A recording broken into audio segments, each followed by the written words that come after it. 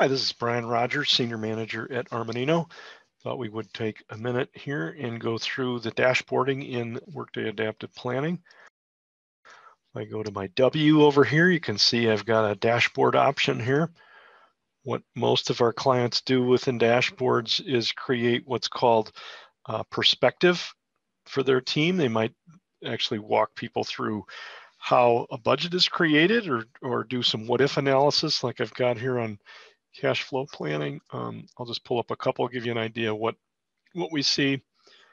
Um, you might have a chart, a graph, a line, KPI, a scorecard, um, and uh, you know all kinds of different metrics, waterfalls that we can do. And, and typically, like I said, you can you can create these tabs, but these perspectives for that uh, individual. That might be an executive view you might have another one that's maybe it's particular to the finance team that there's going to be looking more at marketing expense and EBITDA and cash flow development.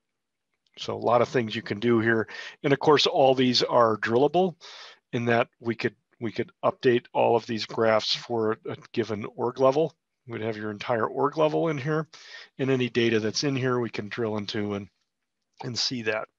Uh, so let's say that I'm in my dashboards here and I want to, I want to create a new dashboard. Um, I'm just going to go to new, and this is going to be related to revenue, let's say, new perspective. And it brings me to this kind of empty screen here. I go to my edit button and you can see immediately these are the options that I have. And this is all, you know, point and click, drag and drop with my mouse. I can do a column, a line, an area, a bar, a pie, a donut, a waterfall, a gauge, a KPI, a scorecard, a pyramid, a funnel, a cross tab, a text. We can do maps in here. We could have a planning sheet or do some, uh, some dimension mapping.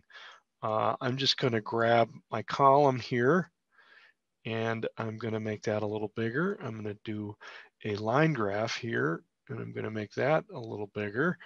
And then I'm going to do a waterfall, and I want to make that maybe a little bigger. And you can tell just with my mouse, I'm just grabbing the corners and figuring out how big I want this to be.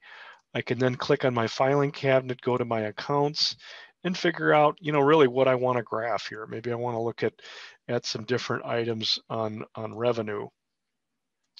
So I want to see how my product service and maintenance revenue you know looks uh, month over month. So i've got a trend there.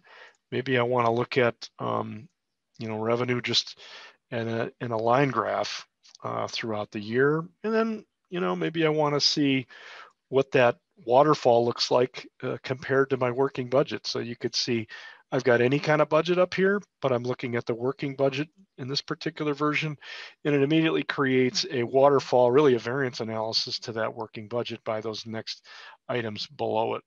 Um, and you can easily change colors over here uh, to however you want that, uh, do double scales, that kind of thing. Uh, but very easy to do that.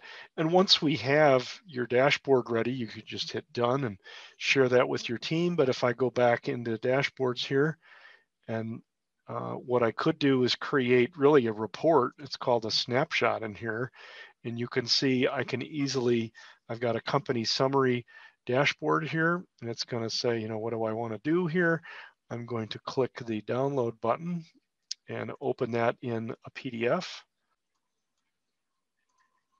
And you can see I've got a, a full ready to share with my executive team, um, ready for distribution, you know, PDF. And I can I can schedule this to email to uh, different different users as needed.